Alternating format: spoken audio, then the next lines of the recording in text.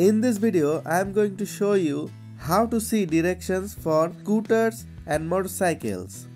If you are a biker and using Google Map app, this video is going to be very helpful for you. By watching this video, you will know how to see directions for scooters and motorcycles in Google Maps. Open the Google Map app Search for your directions in the search bar or tap it on the map.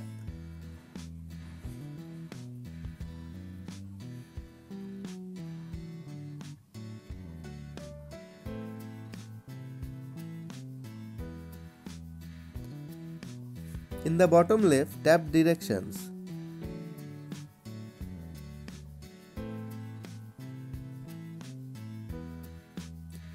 This feature is not available in all locations. To see simple steps while you ride a motorcycle or scooter, switch to two-wheeler directions. Tap the two-wheeler and then tap start.